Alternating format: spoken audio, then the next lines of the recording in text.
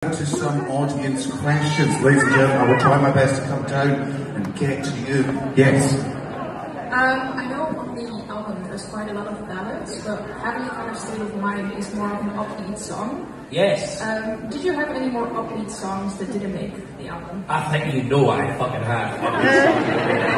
you all should know. Um, yeah, there was loads of upbeat songs, but I felt like uh, the ballads were better and also maybe a safer bet. No, I'm joking. Uh, I, you know, I have loads of upbeat songs in the album, but I think they'll probably be on like a deluxe, there'll be a deluxe version of the album at some point. I'm going to milk this fucking dry, of course. I'm going to kick this dead horse. But, um, but yeah, no, I think uh, there's tons of upbeat songs that aren't on the record that will see the light of day, I hope, at some point very soon. Awesome. Excellent. Let's go. Hi, hello.